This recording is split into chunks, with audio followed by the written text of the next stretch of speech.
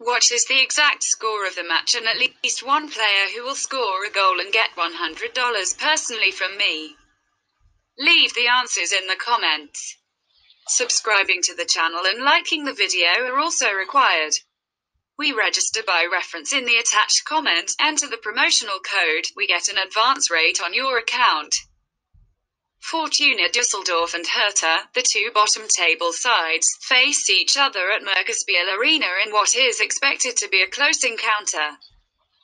Fortuna quickly bounced back from a 4-1 loss to Borussia Mönchengladbach, with the team beating Freiburg 2-0 on the road in their last league fixture. Even though Markus Suttner misses the Hertha game with injury, we believe that punters can find value in backing the home side. The Capital Club, on the other hand, experienced all sorts of problems at the back in a 5-0 loss to Köln, meaning that they are low on spirits ahead of the trip to Dusseldorf. Keep in mind that the hosts are hungry for revenge as Hertha recorded a 3-1 win over Fortuna Dusseldorf in the first half of the season.